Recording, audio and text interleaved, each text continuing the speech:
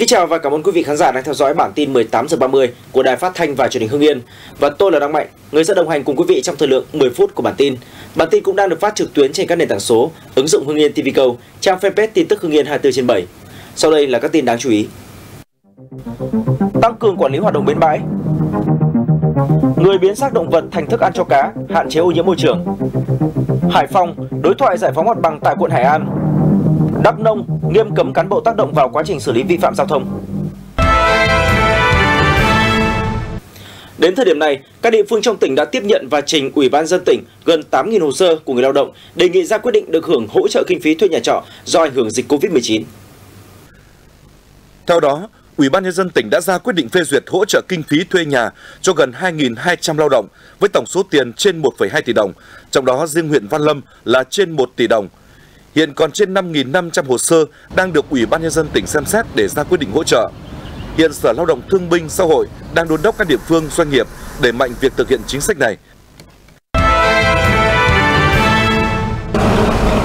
Trên địa bàn huyện Phú Cừ đã và đang triển khai 11 chương trình tín dụng chính sách xã hội để phục vụ hộ nghèo và các đối tượng chính sách. Trong đó có các chương trình cho vay hộ nghèo, hộ cận nghèo, hộ mới thoát nghèo, học sinh, sinh viên có hoàn cảnh khó khăn và cho vay thuộc gói hỗ trợ phục hồi và phát triển kinh tế. Đến hết tháng 6 năm 2022, tổng dư nợ đạt trên 325 tỷ đồng, gấp 14 lần so với năm 2020. Tổng doanh số cho vay chính sách trong 20 năm qua đạt trên 820 tỷ đồng, với hơn 58.000 lượt đối tượng được vay vốn để đầu tư phát triển kinh tế, tạo việc làm mới, xây sửa nhà ở, phục vụ học tập, sản xuất kinh doanh. Công ty cổ phần thực phẩm Việt Nam chuyên về lĩnh vực thu mua, chế biến, xuất khẩu nông sản với các doanh nghiệp, nhà vườn, hợp tác xã trên địa bàn tỉnh vừa tổ chức kết nối ban giải pháp phối hợp tiêu thụ nông sản nói chung và nhãn nói riêng. Tại buổi làm việc, đại diện công ty nhấn mạnh vào các yếu tố như tuân thủ quy trình sản xuất sạch theo tiêu chuẩn Việt Gap và Global Gap, liên kết trong sản xuất theo chuỗi và mở rộng các vùng trồng theo từng loại nông sản, chú trọng đến đăng ký tiêu chuẩn cũng như chỉ dẫn địa lý, đặc biệt là quảng bá, bán hàng trên mạng xã hội và các sàn giao dịch điện tử. Công ty cổ phần VNF Farm cam kết sẽ hỗ trợ các hộ dân một số thủ tục để xuất khẩu nhãn, vải nghệ chuối ra các thị trường quốc tế nếu như sản phẩm đảm bảo các yêu cầu về bảo vệ thực vật, chỉ dẫn địa lý, mẫu mã.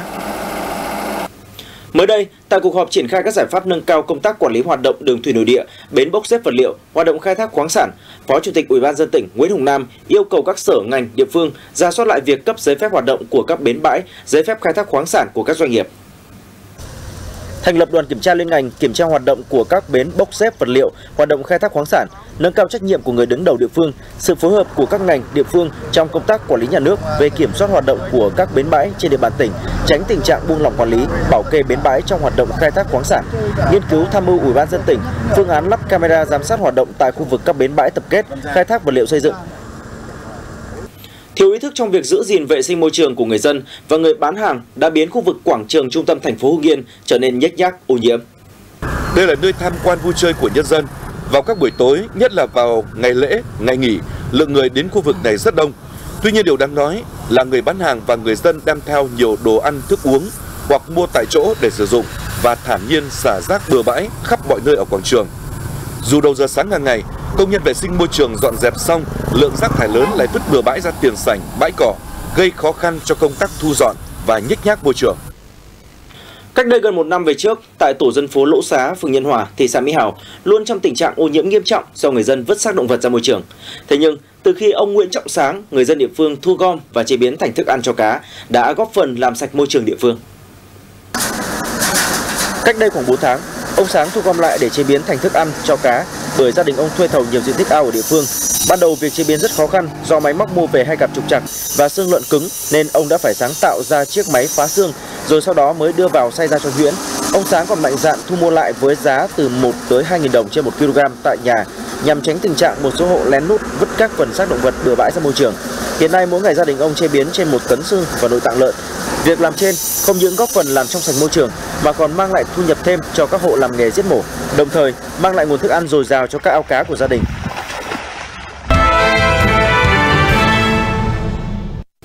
Mới đây, Ban thực hiện cưỡng chế dự án đầu tư xây dựng khu thể dục thể thao công viên cây xanh tại phường Đăng Hải, quận Hải An, thành phố Hải Phòng đã tổ chức đối thoại với hai hộ gia đình cá nhân có đất bị thu hồi để vận động thuyết phục bàn giao đất phục vụ dự án. Tại cuộc đối thoại, ông Khánh và bà Trang kiến nghị một số vấn đề như chế độ chính sách tôn dân, đơn giá cây xưa thấp so với thị trường. Xem xét hỗ trợ chuyển đổi nghề. Tuy nhiên, các vấn đề hai hộ kiến nghị đều được đại diện các đơn vị giải thích căn cứ theo quy định của pháp luật. Đồng thời, đại diện quận cũng đề xuất giả soát lại những nội dung kiến nghị chưa rõ của hai hộ. Để dự án được triển khai đúng tiến độ, hai hộ gia đình buộc phải di rời toàn bộ tài sản ra khỏi khu vực bị cưỡng chế vào ngày 28 tháng 7 năm 2022. Lực lượng biên phòng An Giang vừa phát hiện vụ vận chuyển trái phép động vật hoang dã qua biên giới.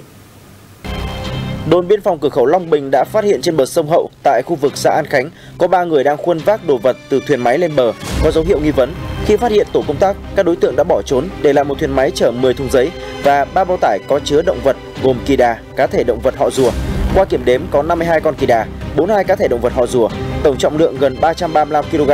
Tổ công tác đã tạm giữ phương tiện cùng tăng vật để tiếp tục điều tra làm rõ. Ủy ban nhân dân tỉnh Đắk Nông vừa có văn bản chỉ đạo nghiêm cấm người đứng đầu các sở ban ngành địa phương can thiệp tác động vào quá trình lực lượng chức năng xử lý hành vi vi phạm luật giao thông đường bộ. Người đứng đầu phải chịu trách nhiệm trước Ủy ban nhân dân tỉnh nếu để cán bộ, công chức viên chức, người lao động của cơ quan, đơn vị mình vi phạm luật giao thông.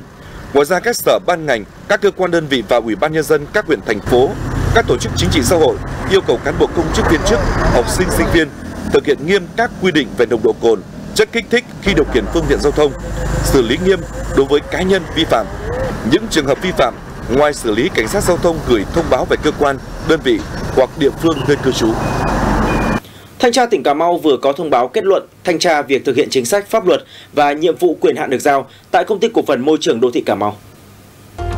Theo đó, việc sử dụng quỹ cơ bản, công ty sử dụng các quỹ đúng mục đích. Riêng chi quỹ phúc lợi chưa đảm bảo mục đích sử dụng quỹ, số tiền hơn 100 triệu đồng. Chi tiền mua 4 điện thoại iPhone 12 làm quà tặng cho 4 cá nhân quản lý điều hành công ty. Công trình sửa chữa cải tạo nhà kho năm 2019, trình tự, thủ tục cơ bản đầy đủ, nhưng thực tế thi công không đúng với bản vẽ, hoàn công và thanh toán dư cho nhà thầu hơn 8 triệu đồng. Thanh tra tỉnh cũng chọn ngẫu nhiên 17 trên 158 chứng từ nhập kho và xuất kho vật tư điện chiếu sáng giai đoạn từ năm 2019-2021. Kiểm tra còn thiếu sót như một số chứng từ không có hợp đồng mua bán và biên bản nghiệm thu, một số chứng từ không có cập nhật bảng báo giá. Ngày 28 tháng 7, Công an huyện Vĩnh Bảo, thành phố Hải Phòng cho biết, đơn vị đã tạm giữ hình sự Nguyễn Văn Duẩn, 33 tuổi, trú tại địa phương để điều tra làm rõ hành vi đốt ATM ngân hàng Agribank chi nhánh Nam Am. Trước đó, tối ngày 25 tháng 7, lực lượng bảo vệ ngân hàng Agribank chi nhánh Nam Am phát hiện ngọn lửa bùng lên tại khu vực ATM của chi nhánh thuộc địa phận xã Nam Am, huyện Vĩnh Bảo. Sau khi nhận tin báo, cảnh sát phòng cháy chữa cháy địa phương đã huy động lực lượng phương tiện tới hiện trường dập lửa. Vào cuộc điều tra xác minh, cảnh sát xác định nghi phạm liên quan vụ hỏa hoạn này là Nguyễn Văn Duẩn, 33 tuổi, trú ở xã Trấn Dương, huyện Vĩnh Bảo.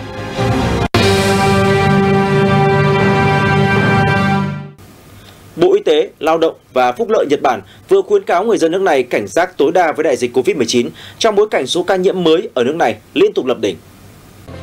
Kể từ cuối tháng 6 đến nay, dịch Covid-19 bùng phát mạnh ở Nhật Bản, chủ yếu do sự xuất hiện của biến thể BA.5. Ngày 27 tháng 7, Nhật Bản ghi nhận thêm hơn 209.000 ca nhiễm mới, mức cao nhất từ trước đến nay. Việc số ca nhiễm mới tăng cao khiến hệ thống y tế ở nhiều địa phương rơi vào tình trạng căng thẳng và thậm chí đã phải ban bố tình trạng khẩn cấp về y tế. Australia sáng ngày 28 tháng 7 tuyên bố bệnh đậu mùa khỉ là bệnh truyền nhiễm nguy hiểm cấp quốc gia. Với tuyên bố này, việc ứng phó với bệnh đậu mùa khỉ tại Australia sẽ có sự phối hợp trên quy mô liên bang cùng với chính quyền và giới chức y tế các bang trong trường hợp dịch bùng phát ở địa phương. Mặc dù khẳng định đậu mùa khỉ là căn bệnh truyền nhiễm nguy hiểm, nhưng giới chức cũng lưu ý bệnh này ít gây hại hơn so với COVID-19. Cho đến nay, Australia đã ghi nhận 44 ca mắc bệnh đậu mùa khỉ. Các nhà khoa học Mỹ và Tây Ban Nha vừa công bố thêm trường hợp được chữa khỏi và một trường hợp tự khỏi HIV, đem lại hy vọng cho người bệnh trên toàn thế giới. Theo đó, một bệnh nhân nam 66 tuổi tại bang California, Mỹ đã không còn virus HIV có thể nhân bản trong cơ thể từ khi ông dừng sử dụng thuốc kháng virus từ tháng 3 năm 2021. Trước đó, ông này đã được cấy ghép tế bào gốc chứa một đột biến gen hiếm có, có tác dụng ngăn HIV lây nhiễm. Trường hợp còn lại là một người phụ nữ ngoài 70 tuổi tại Tây Ban Nha, ghi nhận hàm lượng virus trong cơ thể sụt giảm dù đã ngừng sử dụng thuốc kháng virus hơn 15 năm qua. Quý vị và các bạn vừa theo dõi bản tin 18 giờ 30 của Đài Phát thanh và Truyền hình Hưng Yên. Quý vị có thể gửi các thông tin mới nhất cho chúng tôi qua địa chỉ fanpage tin tức Hưng Yên 24 trên 7 gạch ngang HDTV hoặc email thời sự hi a gmail.com. Quý vị và các bạn có thể xem lại bản tin trên các nền tảng số của Đài Phát thanh và Truyền hình Hưng Yên như ứng dụng Hưng Yên TV Go, trang fanpage tin tức Hưng Yên 24 trên 7 gạch ngang HITV, kênh TikTok Truyền hình Hưng Yên. Cảm ơn quý vị đã quan tâm theo dõi. Kính chào tạm biệt và hẹn gặp lại.